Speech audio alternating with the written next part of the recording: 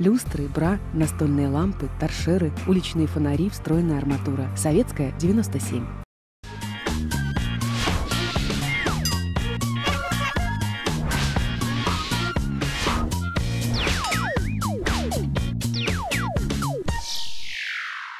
Ребята, привет! Меня зовут Мария Александровна, я работаю в Министерстве по чрезвычайным ситуациям. Наша служба приходит на помощь всегда, если случается беда. Но именно сейчас мы с вами в стране безопасности, где будем учиться простым правилам безопасного поведения в любой жизненной ситуации. А помогать мне будет спасайка, но с ним я вас познакомлю чуть позже. А пока хочу представить наших сегодняшних героев. Ребята, привет! Привет! Я очень рада нашей новой встрече и хочу рассказать вам, что вы подошли к последнему испытанию. И если вы окажетесь на высоте, то впереди вас ждет еще много интересных встреч. А сейчас вам, наверное, очень интересно, с каким результатом вы и ваши соперники подошли к четвертому дню соревнований. Спасайка нам сейчас покажет турнирную таблицу. Итак, внимание на экран.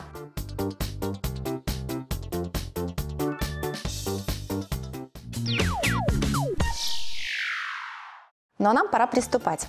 Выбирать сегодня мы ничего не будем. У нас с вами осталась одна тема – это опасность на природе. Скажите, ребята, какие опасные природные явления вы знаете и с которыми вам приходилось сталкиваться? Так, с нами случались гроза и молния. Ну, у меня только гроза. Я видел А на даче, когда молния ударила там что-то. А я видела просто, она в небе так шарахнула. Не, я видел, как она прямо ударила. Ну, такой вот. Еще мы знаем ураган. Торнадо, воронка, ураган, землетрясение и все. Молодцы, ребята! Это еще могут быть и град, и наводнения. Ну а у нас время переходить к первому испытанию. Для того, чтобы помочь справиться с моими вопросами, я предлагаю посмотреть вам мультфильм. Ответы на все сегодняшние вопросы там есть.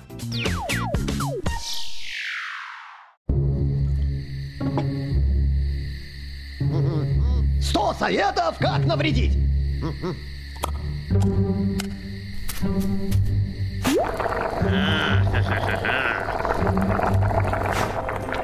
Хм, Погодка сегодня просто замечательная.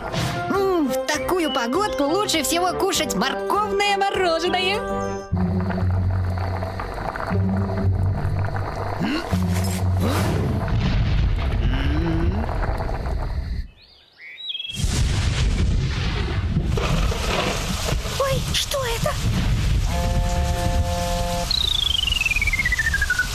Друзья, во время грозы не следует прятаться под одиноко стоящими деревьями.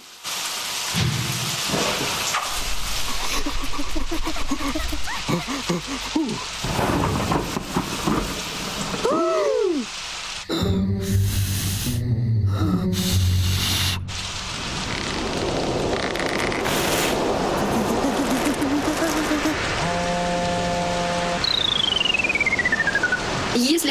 поблизости нет деревьев, где можно укрыться, вы можете лечь в низменность или канаву.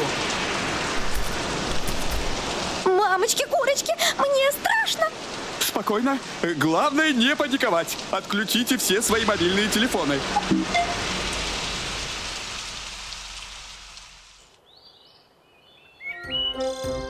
Класс! Как здорово, что мы знаем правила безопасности. М, маринованная свинина. Ну, сейчас я вам покажу.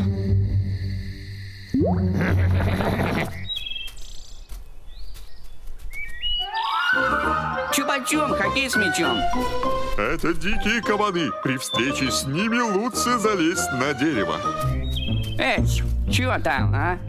Слышь, Боров, что-то я не пойму. Я только что слышал тут чей-то разговор, а сейчас тут никого нет.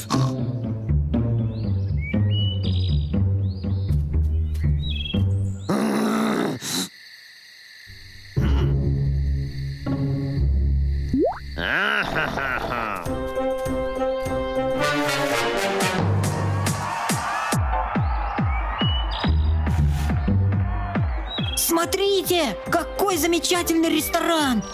Ягоды! Обожаю ягоды! Я дико извиняюсь, но не следует есть ягоды в лесу. Они могут оказаться ядовитыми, как и грибы. Ну ты бобр и зануда. Пусть я буду и занудой, но зато мы все останемся целыми и невредимыми.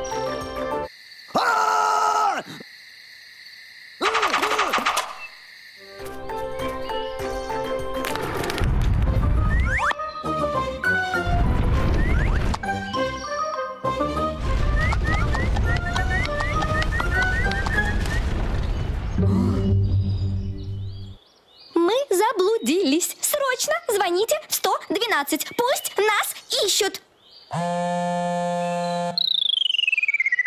Если вы заблудились в лесу, идти нужно вдоль линии электропередач, железной дороги или вдоль реки. Эта дорога обязательно выведет вас к какому-нибудь населенному пункту.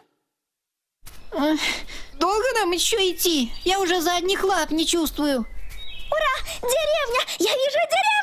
Мы спасены! Спасибо тебе, книга! М-м-м. Твои советы нереально крутые! Вот видите, а вы переживали. Со знаниями правил безопасности никогда не пропадешь. А! Че почем, хоккей с мячом, а? Красава, Боров! И еще одного туриста поймали.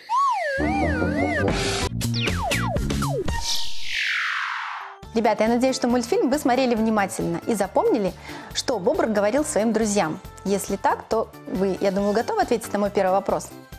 Да, да. Какие главные правила поведения при грозе на природе? Напомню, их было три. Нельзя стоять под одиночным Одиночным, деревом. Нужно спрятать, если э, нету деревьев, то нужно спрятаться в канаву и Надо отключить все мобильные телефоны. да. И следовать, ну, если заблудился, то следовать э, по, электриче- э, по электричеству или по речке. Они доведут до, ну, до жилища. Молодцы, ребята, вы дали полный правильный ответ, за который получаете 3 балла. Я вас поздравляю. Ура! Ура! Но время переходить к нашему следующему испытанию. Из трех вариантов ответа на мой вопрос вам нужно будет выбрать верный и сделать это за максимально короткое время. Итак, внимание, вопрос. Что нужно делать при встрече с дикими животными? Вариант номер один – залезть на дерево. Вариант номер два – вызвать спасателей по номерам телефонов 101 или 112. Или вариант номер три – это громко кричать и отбиваться палкой. Ну, э, наверное, первое. Что было первое? Первое – залезть на дерево. Ну, медведь за тобой полезет. Но все же, что нужно делать в первую очередь? Если вы встретили дикое животное, Залезь на Вспоминайте дерево и мультик. позвони. вспоминайте мультик. Что делали герои мультфильма при встрече с Они этими? залезли на дерево, не кричали, чтобы ну, чтоб их, Не подавать сигнал. Чтобы Вариант, вариант должен быть один тут только. Нужно залезть На дерево.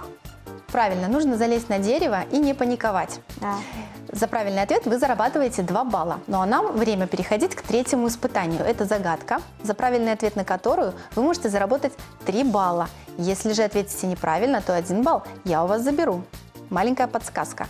Это загадка про небезопасного лесного жителя. Когда он в клетке, то приятен. На шкурке много черных пятен. Он хищный зверь, хотя немножко, как лев и тигр, похож на кошку. Леопард. Правильно, леопард. А время подводить итоги. За первое испытание вы заработали 3 балла, за второе испытание вы заработали 2 балла. И за третье испытание вы также заработали 3 балла. Считаем, сколько получилось? Восемь. Правильно, 8. И сейчас Спасайка внесет этот результат в таблицу. Скоро увидимся, а место встречи остается прежним. Это ваша страна безопасности. Люстры, бра, настольные лампы, торшеры, уличные фонари, встроенная арматура. Советская, 97.